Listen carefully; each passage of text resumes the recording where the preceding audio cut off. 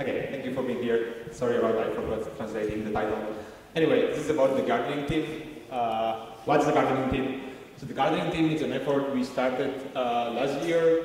Uh, we had a talk, I had a lightning talk in Akademy and I said we really needed a team to focus on, on pinpointing the important bugs and, and finding people to, to fix them, taking a bit of care of review boards because it's, it's silly that we ask people to commit patches and then we never have a look at them, do some uh, Bugzilla work and also, uh, I have a notification in the screen? Not there, okay, good. Uh, finding projects that needed some love and, and giving them some love. So what we did uh, through the year, we did uh, some work on KRecipes.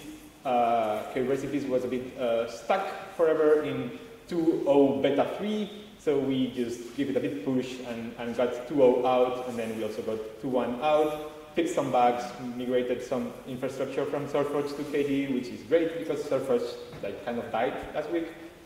And we also did basically the same for K3b. K3b was on 2.02 beta X for a long time with lots of bugs fixed, but nobody was using them because it wasn't released. So we did the release, fixed some extra bugs.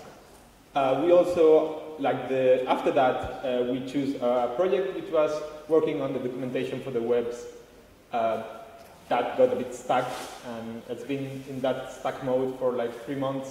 So yeah, not so good.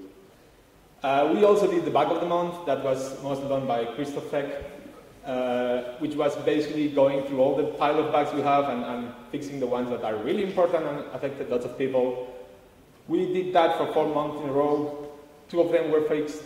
One of them was, I think it is fixed, but I cannot be sure of it.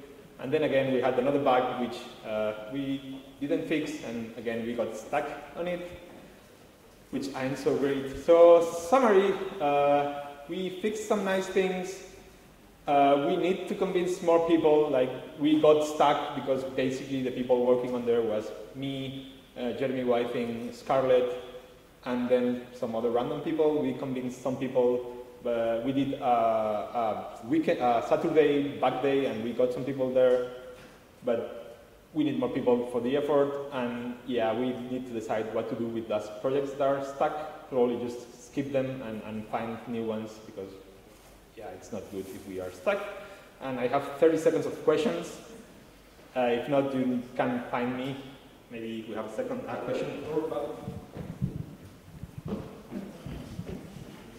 Do you have like a meeting on IRC at the beginning of the month to decide what's going to be done? Because if so, I want to join.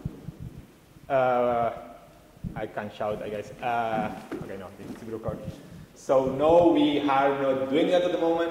Uh, we were discussing those things on the mailing list, but we can as well do an IRC meeting. Uh, yeah, whatever, just to get it kickstart. Okay. Thank you.